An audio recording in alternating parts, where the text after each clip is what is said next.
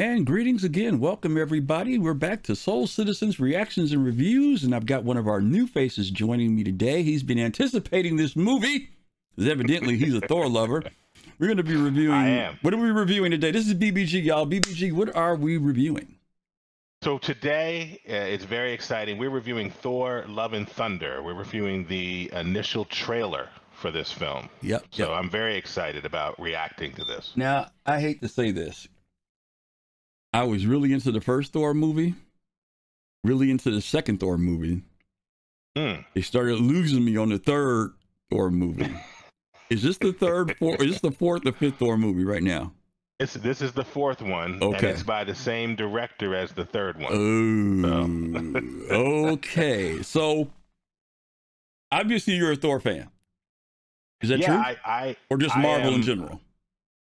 Well, Marvel in general, Okay. but I'm also a big fan of certain arcs in the comic storyline of Thor, Okay. and my understanding is that this will speak to some of that. So I'm excited to see that. Okay, I'm going to trust you to be the authority on this one. My cousin's a big Thor fan. I like Thor, but honestly, I have not been keeping up. So, you know, all the Loki stuff came out and everything, so I'm behind. So I'm Oh, going to be You haven't seen any of that either. so I'm viewing Okay. this as uh, other than the Avengers stuff. So I'm viewing this as somebody who is if like I'm not a big Thor fan, not you know, big follower, but I'm curious about the film. Okay. Right. So Okay, this is coming stuff. out next month, right? What less than two weeks now, That's right. Okay. Yep, less than two weeks. Okay. I got my first. I got my tickets for the first night. Oh boy, you ready? Okay. Even though it says the eighth, y'all, that's a Friday. It's actually going to be opening on the seventh in some places. Right. So Right. okay, why don't we go ahead and uh, we'll jump into it and take a look and see what we like here. And uh, again, Thor: Love and Thunder. Let's do it.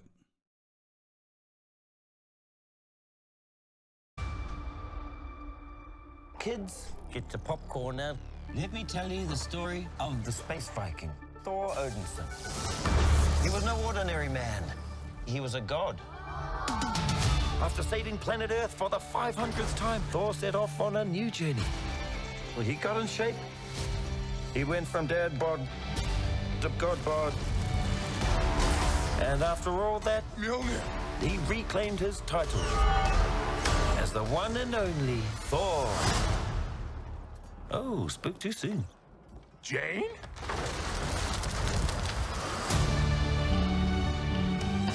The old ex-girlfriend. What's it been like? Three, four years? Eight years, seven months, and six days, give or take. Am I uh, sensing feelings? well, you're right. The only ones who gods care about is themselves. So this is my vow. All gods will die.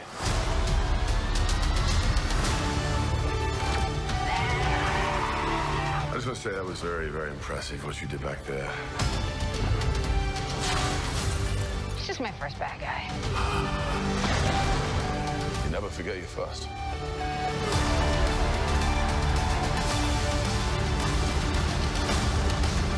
You are not like the other gods of. Because I have something worth fighting for.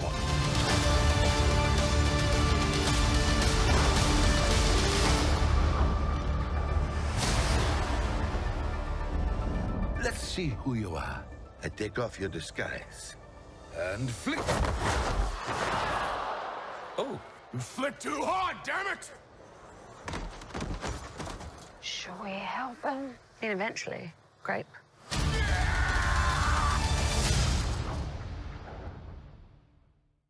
Uh, okay. Oh, yeah. Okay. Okay. Okay. um. Okay. So Griff, maybe you should go first. Okay. Okay. Um. I'll tell you what I don't like. Mhm. with some of the franchises, it seems like they're doing this, not bringing them up to date, but they're putting things in the con- in a very contemporary context. And whenever I think of Thor, I think of it from the Norse mythological perspective. So even though the main actor kind of has that Nordic accent and talking, but then his girlfriend sounds like she's from the United States. That drives me crazy. So I wish there was more of the Nordic god vocabulary and not making it so contemporary. Um, I, I, would even go along with it. They talk that way when they're in their realm. And then when they come to ours, they kind of try to act like they're, you know, no, but, but that's me being picky. Um, no, I don't think it's being picky. I mean, even in the comics, they create a whole. They use even a different font. Right, right. And you hear yes. Asgardians speak. Exactly. Right? So, and so, and yeah. the villains usually kind of, kind of maintain that a little bit, but I don't know. It just that that has just been something that I like that whole Nordic kind of, you know, Norse kind of thing going on. So I missed that. Let me put it to you that way. Um, I'm also interested in the fact that how Marvel finds these opportunities to how they incorporate humor and the seriousness of their stuff. For some of their movies, it works. Some of it becomes dark humor. And then some of it, the humor takes me too far out of the familiar uh, story that I'm familiar with. And it's like they're trying too hard. So I don't know if this is going to be that. I think in that third movie, that was kind of how I felt about some things, which is why I was maybe turned off a little bit about it. Right. But I am curious enough about this. Uh, I am curious about the balance with women being introduced. I'm not a person who has a problem with women becoming a part of movies, except for when it's done in the perspective of diminishing the men to make the women look good. When the women are Right. good because they're just good, that's always cool with me because I get tired of looking at dudes anyway. So I like when there's a female hero, heroine who's there because she's capable, because she is, and she can stand side by side, you know what I mean, right next to the guy and do her thing. So I'm curious to see how they're going to balance this whole ex girlfriend thing out, you know. So I'll leave Yeah. it there because that's about as deep as I want to go because it's a trailer, and I'm I'm Right. curious to see. Oh, I don't want to see no more of that Shane crap like this. Ever since they did that with Batman versus Superman, it drives me crazy. So that Shane stuff is not No impressive to me anymore. Mm-mm. Not impressive to me. When you're a god, yeah, okay, you need to go out and do some workout. Okay, okay. But anyway, that's where I'll stop. So you go ahead and give me your thoughts because you're the you're the authority here. Well, you remember that that Thor was uh, a little bit out of shape. In, uh, yeah, in the yeah, Avengers beer movies. belly, yeah. yeah, so you got to tighten up a little bit.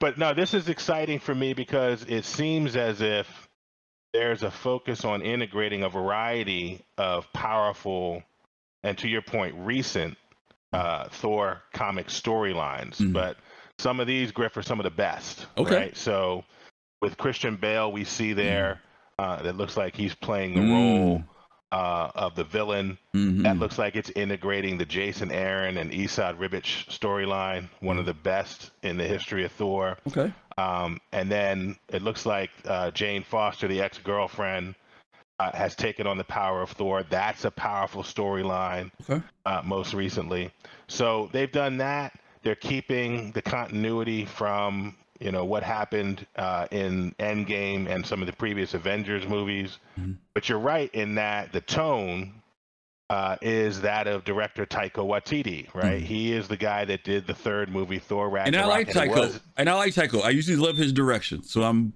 feeling yeah, but positive. it is different. Mhm. It is different than the first two Thor movies, Mhm, right? mhm. With Kenneth Branagh, uh, and I Mhm. can't remember who directed the second one, but when he came in with Thor Ragnarok, he does have a particular sense of humor, Mhm, right? mhm. And I think you're right that it's going to be very interesting to see how he can integrate the drama, the humor, the romance, and he's trying to give us all of that in one film, and that's hard to do. Yeah. Yeah. That's really hard to do. Yeah. So, um, for, but what I see right now, um, I, it's compelling. I'm, I remain very excited uh, to see what happens with Valkyrie. You know, Mhm. as she leads the Asgardians on Earth, and what's happening Mhm. with Mm-hmm. with Thor. I mean, because we left when he left, he left with the Guardians of the Galaxy. You can see that he's still with them a little bit, but what happens there? Mm-hmm. and then of course you know all the main stuff with with the ex-girlfriend and with christian bale as as the villain Gorr so i'm very excited uh this looks like it could be very compelling but it's it's it's a it's a tightrope for the director to walk and the Mm. actors to walk Okay. Let me So- ask you one other question before we wrap this up. Is the franchise reaching a point? You know, some of these franchises, you know, Iron Man, whatever, you know, you get three, four of these movies. Um, is it still a vibrant franchise or is it like, is this the one that they should probably tie it all up, or will you think there'll be room for Thor to maybe put one more out after this, or just depending on how the film's received? Yeah, I think it depends on not only how the film received, but what the storyline is, where they where they're taking Thor Okay. at this point, right? Okay. Because if you know there are other Thor stories to tell, and Thor, I mean, the narrative, the narration we hear at the very beginning of the trailer is like, "Let me tell you the story." He said something about the space Viking Thor, and Mhm. that's really what Jack Kirby and others were doing in the '60s with Thor, right? Mhm. They were taking this Norse mythology and making it real 60s crazy space Viking. Right. And so there's a lot of cosmic stories to be told with Thor. Mhm. Um, and they could go off in that direction. It'll be interesting to see where they leave him at the end of this because you're right. This could be sort of wrapping up, you know, what Thor really is for a while i- Mhm. in, the Marvel Cinematic Universe, or it could be opening up a whole new framework on him. Mm, okay. Okay. Looks like we got Russell Crowe in there as Zeus. too. Yeah. yeah. Yeah. Okay. So yeah, it's gonna be interesting. All right, so promising stuff, y'all. Promising stuff. You guys heard it from BBG. If the movie stinks, y'all make sure y'all let Big Black Gaming know that y'all didn't like it. But I'm sure it's gonna be. He made it. He made it sound interesting, so I'm definitely gonna go see it. Release date July 8th, 2022. Thor Love, and Thunder by Walt Disney Studios Motion Pictures. Y'all know Marvel Entertainment is all behind this. And um, yeah, it looks like it's going to be a, a good, I guess, one of those Fourth of July post-holiday kind of films that everybody will go out to the movie and uh, and check out. Yeah, good summer fun. Yeah. good summer fun. Absolutely, absolutely. Well, dude, thanks a lot. We'll, uh, I hope you come back when it's time for the review. How's that? We'll, we'll, Yeah, we'll come I'm gonna back have and to stand up, right? I'm gonna Right. have to stand up for the review, right? Uh, gotta be ready. right, take my beating. gotta be, be, gotta so. be ready. Or you can have your accolades. You know, it might be your Right. accolade. Maybe say he couldn't call it spot on. So we'll see how it goes. But I'm glad you recognize some things that are from the comics, from the lore. Direction they seem like they're filling out more of it. So that's gonna that's a positive thing to hear. You know, that's I'm glad to hear that. It's not that Disney's making up some fanciful stuff that don't already exist. So we'll yeah, when they don't goes. stick to the lore, it's not as good for them. That's so- right. That's right. That's right. All right, gang. Thanks again for watching this. Hopefully, you guys will check us out. Don't forget to like and subscribe. And if you got some comments about this teaser trailer, please leave them down there for us and make sure you come back for us when we do the big review. Okay. Till then, what do we tell him when we leave? BBG. Let's see if he knows. What do we say when we go? Peace, love, and soul. Ooh, look at that brother. He got it together. We'll see you guys soon. Take care. Bye bye.